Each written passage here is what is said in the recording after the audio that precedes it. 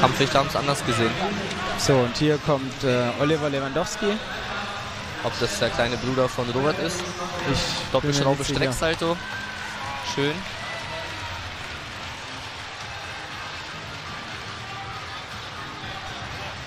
Zweieinhalb Schraube rückwärts. Gut gelandet.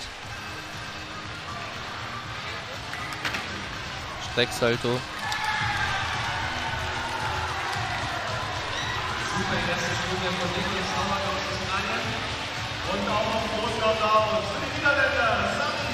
Spagat. Ich denke mal zum Schweizer, den wir jetzt hier gleich sehen werden. Wieder die nicht akrobatische Sequenz.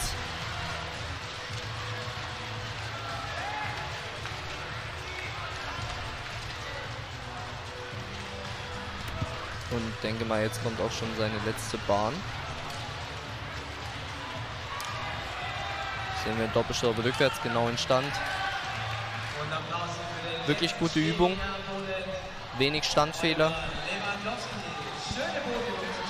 Ich denke mal, das wird auch eine sehr gute Wertung geben.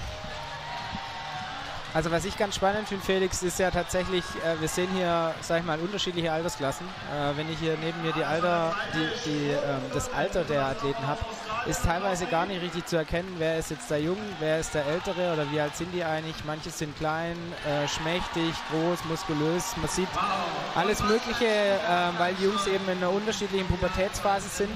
Ähm, was, was bedeutet das im Trainingsprozess? Also ähm, man hat ja nachher ein Team, äh, sind womöglich alle gleich alt, aber jeder hat extrem unterschiedliche körperliche Eigenschaften als Trainer.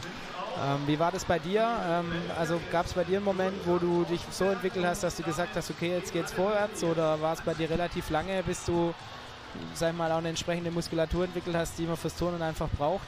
Also ich glaube, bei mir war das äh, relativ normaler Verlauf, würde ich sagen. Ähm, ich hatte relativ früh auch schon gut Kraft und eine gute körperliche Statur. Sage ich einmal kurz die Wertung von äh, Oliver Lewandowski nach. Eine 12,95 bei